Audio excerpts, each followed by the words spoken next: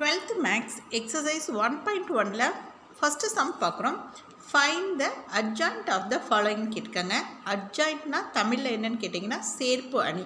Okay இப்போ இதுக்கு மூணு மேட்ரிக்ஸ் கொடுத்துருக்காங்க. ஃபஸ்ட்டு ஒரு டூ பை டூ மேட்ரிக்ஸ் கொடுத்து இதுக்கு அட்ஜாயிண்ட் கண்டுபிடிக்க சொல்லியிருக்காங்க. அப்புறம் ரெண்டு த்ரீ பை த்ரீ மேட்ரிக்ஸ் கொடுத்துருக்காங்க. இப்போ ஃபஸ்ட்டு டூ பை டூ மேட்ரிக்ஸ்க்கு எப்படி அட்ஜாயிண்ட் கண்டுபிடிக்கிறது அப்படின்னு பார்க்குறோம். இப்போ ஏன்னு சொல்லிட்டு ஒரு டூ பை டூ மேட்ரிக்ஸ் இந்த மேட்ரிக்ஸை நம்ம ஏன்னு எடுத்துக்கிட்டோம். இப்போது இதுக்கு அட்ஜாயிண்ட் ஏ கண்டுபிடிக்கணும். எப்படின்னு கேட்டிங்கன்னா டூ பை டூ மேட்ரிக்ஸ்க்கு அட்ஜாயின்ட் கண்டுபிடிக்கிறது. ஃபஸ்ட்டு இந்த பிரின்சிபல் டயக்னல் இருக்கு இல்லையா? தமிழில் இதை பிரதான மூளைவட்டம்னு சொல்லுவாங்க. இதில் உள்ள எலமெண்ட்ஸை வந்து இன்டர்சேஞ்ச் பண்ணணும். உறுப்புகளை இடமாற்றம் செய்யணும். இதை எப்படி அப்படின்னு பார்த்தீங்கன்னா மைனஸ் த்ரீ இருக்கிற இடத்துக்கு இந்த டூ வந்துடும் டூ இருக்கிற இடத்துல இந்த மைனஸ் த்ரீயை போடணும். பாருங்கள் மைனஸ் த்ரீ இருக்கிற இடத்துல டூ எழுதியிருக்கேன். டூ இருக்கிற இடத்துல மைனஸ் த்ரீ வந்துருச்சு. இப்போது இந்த செகண்ட் டயக்னல் இருக்கு இல்லையா?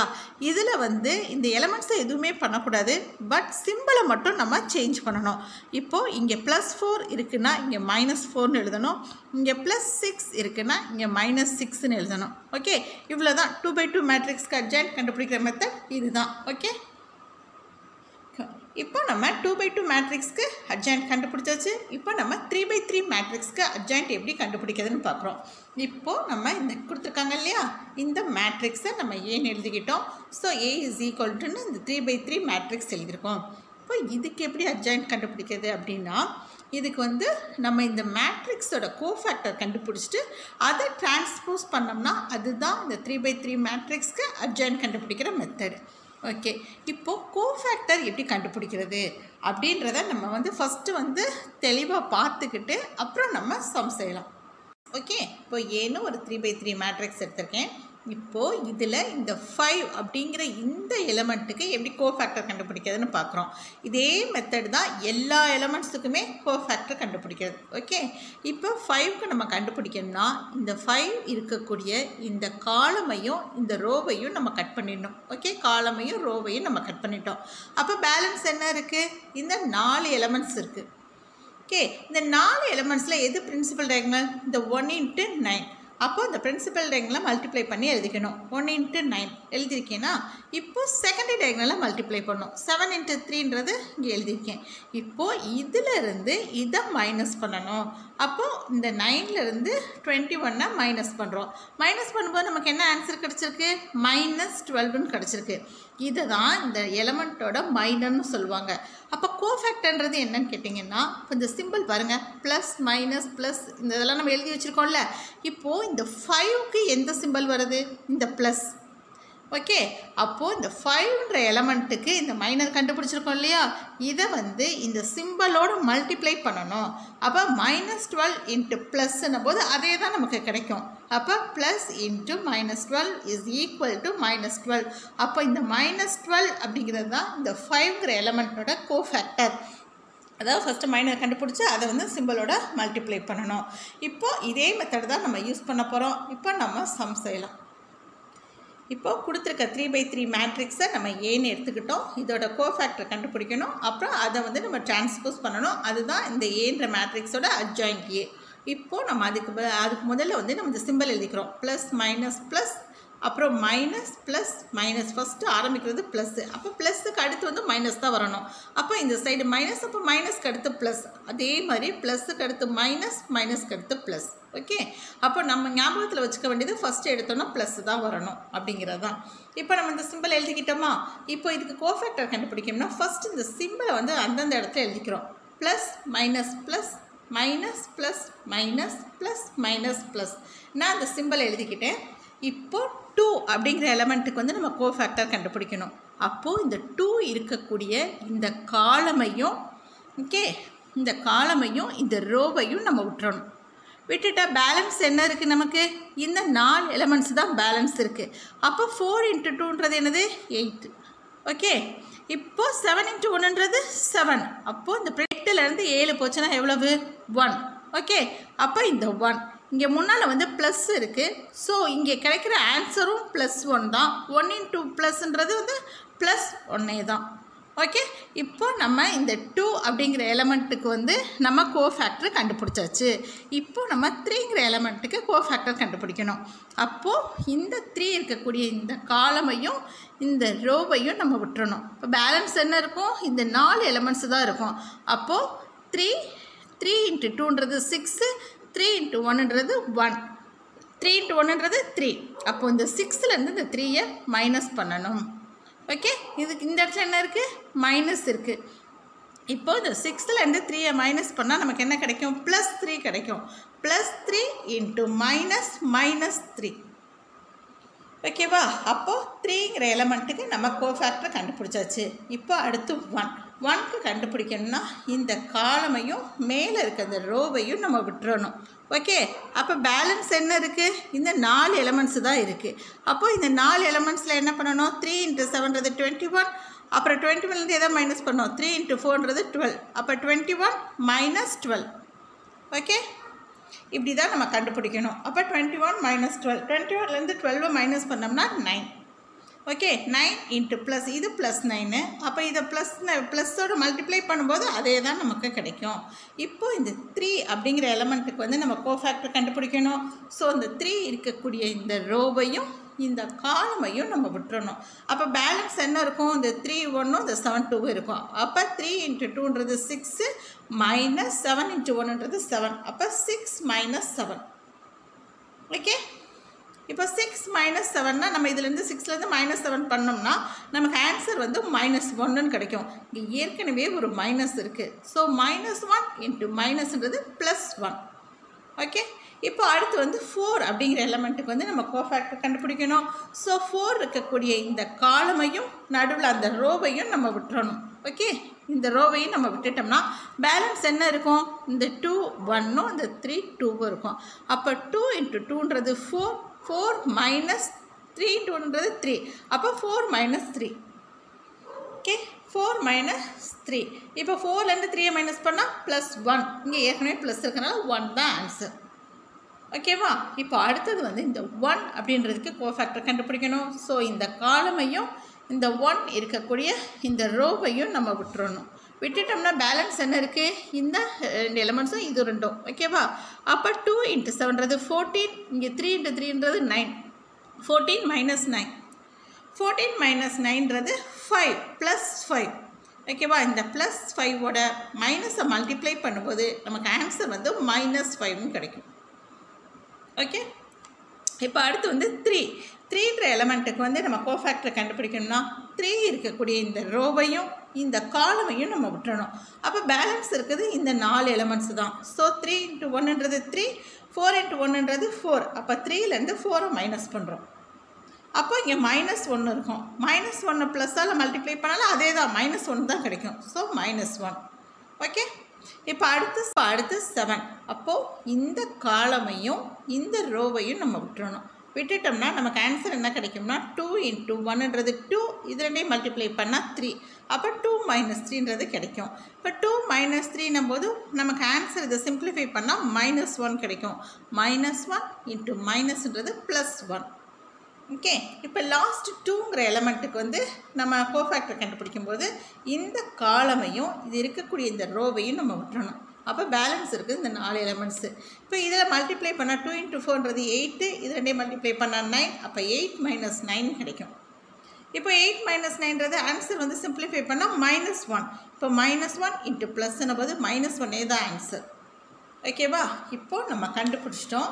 இப்போ இதை டிரான்ஸ்போஸ் பண்ணணும். டிரான்ஸ்போஸ் பண்ணணும்னா ரொம்ப சிம்பிள் ரோஸை வந்து காலமாக நம்ம சேஞ்ச் பண்ண போகிறோம் அப்போது இந்த ஃபஸ்ட்டு ரோவை இப்படி எடுத்துக்கிட்டோன்னு வச்சுக்கோ.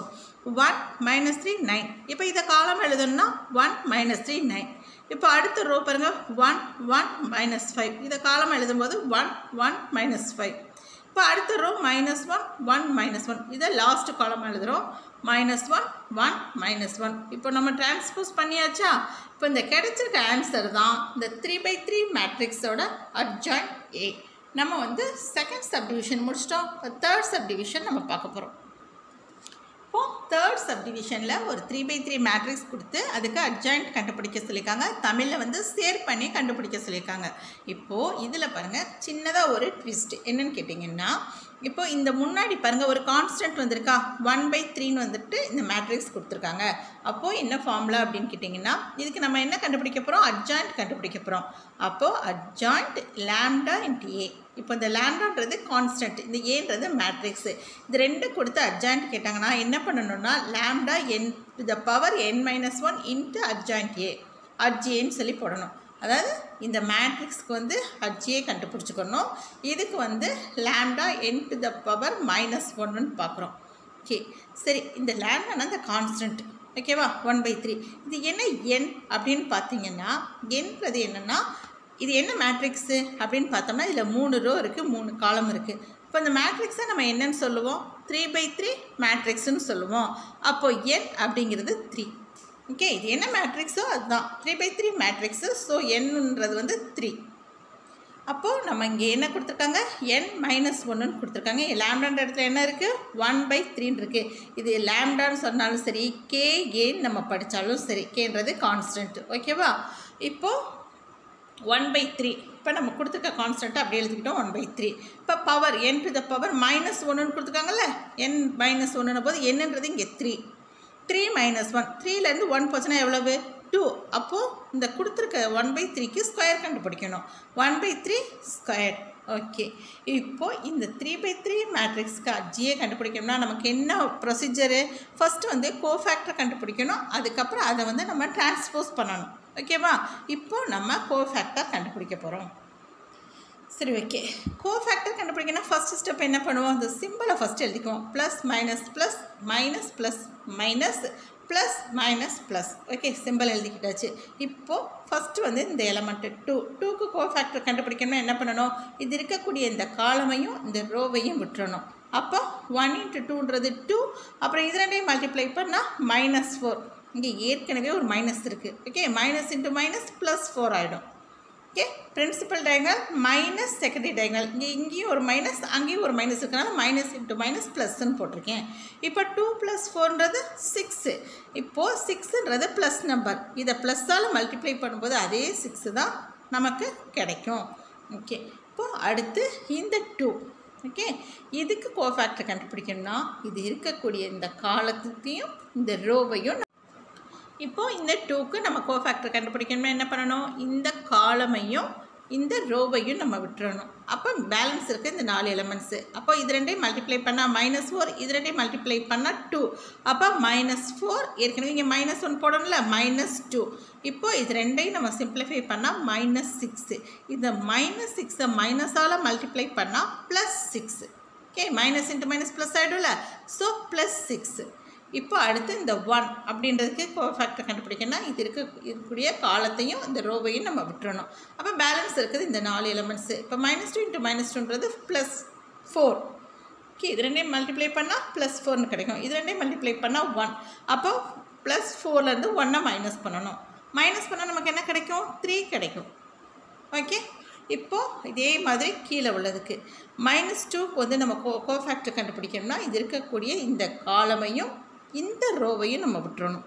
ஓகே அப்போ பேலன்ஸ் இருக்க இந்த இதில் மல்டிப்ளை பண்ணால் டூ இன்ட்டு டூ ஃபோர் இது ரெண்டையும் மல்டிப்ளை பண்ணால் மைனஸ் டூன்னு கிடைக்கும். ஏற்கனவே ஒரு மைனஸ் இருக்கனால ப்ளஸ் டூ அப்போ ப்ளஸ் ஃபோர் ப்ளஸ் டூ ஓகேவா இந்த மைனஸும் இங்கே ஏற்கனவே இங்கே ஒரு மைனஸ் போடுவோம்ல. இந்த ரெண்டையும் மல்டிப்ளை பண்ணும்போது ப்ளஸ் டூன்னு ஆகிடும் இப்போ இதை சிம்பிளிஃபை பண்ணால் சிக்ஸு இந்த ப்ளஸ் சிக்ஸை மைனஸால் மல்டிப்ளை பண்ணால் மைனஸ் சிக்ஸ் ஓகே இப்போ இந்த ஒன் அப்படின்றதுக்கு வந்து கோஃபேக்டர் கண்டுபிடிக்கணும். என்ன பண்ணணும்? இது இருக்கக்கூடிய இந்த காலமையும் இந்த ரோவையும் நம்ம விட்டுறணும். அப்போ டூ இன்ட்டு டூன்றது ஃபோர் இது ரெண்டையும் மல்டிப்ளை பண்ணால் ஒன் ஃபோர் மைனஸ் ஒன் இப்போ இதை சிம்பிளிஃபை பண்ணால் த்ரீ த்ரீ வந்து ப்ளஸ் நம்பர் ப்ளஸ்ஸால் மல்டிப்ளை பண்ணாலும் அதே தான் ஓகே இப்போ இந்த டூ அப்படின்றதுக்கு கோஃபேக்டர் கண்டுபிடிக்கணும்னா இந்த காலத்தையும் இந்த ரோவையும் நம்ம விட்டுறணும். ஓகே அப்போ பேலன்ஸ் இருக்கிறதுல டூ இன்ட்டு மைனஸ் டூன்றது மைனஸ் ஃபோர் இது ரெண்டையும் மல்டிப்ளை பண்ணால் ப்ளஸ் டூ அப்போ மைனஸ் ஃபோர் மைனஸ் டூ ஓகேவா இது ரெண்டையும் சிம்பிளிஃபை பண்ணால் மைனஸ் சிக்ஸு இந்த மைனஸ் சிக்ஸை இந்த மைனஸால் மல்டிப்ளை பண்ணும்போது ப்ளஸ் சிக்ஸ் ஓகே இப்போ இந்த லாஸ்ட் இது. ஒன்க்கு வந்து நம்ம கோஃபேக்டர் கண்டுபிடிக்கும் போது இந்த காலமையும் இது இருக்கக்கூடிய ரோவையும் நம்ம விட்டுட்டோம்னா இப்போ இதை நாளில் தான் நம்ம கண்டுபிடிக்கணும். அப்போ டூ இன்ட்டு டூன்றது ஃபோர் இது ரெண்டையும் மல்டிப்ளை பண்ணால் one four minus one three four minus ஒன்றுன்றது three இங்கே இப்போ இது ப்ளஸ் த்ரீ இதை ப்ளஸ்ஸால் மல்டிப்ளை பண்ணுவோம் அதே த்ரீ தான் கிடைக்கும். இப்போது மைனஸ் டூ இதுக்கு கோஃபேக்டர் கண்டுபிடிக்கணும்னா இது இருக்கக்கூடிய இந்த காலமையும் இந்த ரோவையும் நம்ம விட்டுறணும். ஓகே விட்டுட்டோம்னா நம்ம எப்படி கண்டுபிடிக்கணும்? இது ரெண்டையும் மல்டிப்ளை பண்ணால் ஃபோர் இது ரெண்டையும் மல்டிப்ளை பண்ணால் மைனஸ் டூ இங்கே ஏற்கனவே ஒரு மைனஸ் இருக்கும். ஸோ இது வந்து ப்ளஸ் டூன்னு வந்துடும் இப்போ இது ரெண்டையும் சிம்பிளிஃபை பண்ணால் six six into minus minus six okay இந்த சிம்பிளோட மல்டிப்ளை பண்ணுறத மறக்கக்கூடாது. சிம்பிளோட மல்டிப்ளை பண்ணால் தான் அது கோஃபேக்டர் நீங்கள் சும்மா அப்படி எழுதிட்டிங்கன்னா அது மைனன்னு சொல்லிடுவாங்க. ஓகே இப்போது இந்த டூ இதுக்கு நம்ம கோஃபேக்டர் கண்டுபிடிக்கணும்னா இந்த காலமையும் இந்த ரோவையும் நம்ம விட்டுறணும். அப்போது இந்த நாலு இது தான். அப்போ டூ இன்ட்டு ஒன்றுன்றது டூ இது ரெண்டையும் மல்டிப்ளை பண்ணால் மைனஸ் ஃபோர் ஏற்கனவே ஒரு மைனஸ் இருக்கு இல்லையா? ஸோ ப்ளஸ் ஃபோர் ஆயிரும். அப்போ டூ ப்ளஸ் ஃபோர்ன்றது சிக்ஸு சிக்ஸை ப்ளஸ்ஸால் மல்டிப்ளை பண்ணும்போது ப்ளஸ் சிக்ஸு தான் கிடைக்கும். ஓகே இப்போது நம்ம கோ ஃபேக்டர் கண்டுபிடிச்சாச்சு. இதுக்கு டிரான்ஸ்போஸ் கண்டுபிடிக்கணும். இப்போது அதுக்கு முன்னால் இந்த சைடு ஸ்கொயர் பண்ணணும் இல்லையா? இப்போ ஒன்றை ஸ்கொயர் பண்ணால் ஒன்னே தான். இந்த ஸ்கொயர்ன்றது இது ரெண்டுக்கும் காமன் அப்போ ஒன்றை ஸ்கொயர் பண்ணும்போது ஒன்னே தான். இப்போ இந்த த்ரீயை ஸ்கொயர் பண்ணோம்னா நைன் ஓகே இப்போது இதுக்கு டிரான்ஸ்போஸ் நம்ம கண்டுபிடிக்கிறது எப்படி பண்ணணும்? ரோஸ் எல்லாத்தையும் காலமாக சேஞ்ச் பண்ணணும். அவ்வளோதான் டிரான்ஸ்போஸ் ரொம்ப ஈஸி அப்போது இந்த ஃபஸ்ட் ரோ இருக்கு இல்லையா? சிக்ஸ் சிக்ஸ் த்ரீன்றதை ஃபஸ்ட்டு காலமாக எழுதியிருக்கேன். சிக்ஸ் சிக்ஸ் த்ரீ இப்போது minus six three சிக்ஸுன்றது second column minus six three six இப்போ த்ரீ மைனஸ் சிக்ஸ் சிக்ஸ் இருக்குது இது third column three minus six six okay இப்போது இது எல்லாத்துலேருந்து நம்ம ஏதாவது காமனாக வெளியில் எடுக்கலாம்னு பார்த்தா த்ரீயை காமனாக வெளியில் எடுத்துடலாம். அப்போது நான் இந்த மேட்ரிக்ஸ்லேருந்து த்ரீயை காமனாக வெளியில் எடுத்துட்டேன். இப்போ இங்கே உள்ள என்ன இருக்கும்? டூ இங்கே minus two one two one minus two இங்கே ஒன் டூ டூன்னு இருக்கும். இப்போ இந்த நைனையும் இந்த த்ரீயை அடித்து கொடுத்தோம்னா இந்த நைன் வந்து த்ரீ டைம்ஸு அப்போ ஆன்சர் என்னென்னா ஒன் பை த்ரீ இந்த மேட்ரிக்ஸ் இருக்கு இல்லையா? இதை நம்ம அப்படியே எழுதி எழுதியிருக்கோம் அவ்வளோதான் இந்த சம் நம்ம அட்ஜாயிண்டியை கண்டுபிடிச்சாச்சு. இப்போ இதில் ஏதாவது டவுட்ஸ் இருந்தால் கமெண்ட் பாக்ஸில் கொடுங்க. தேங்க்யூ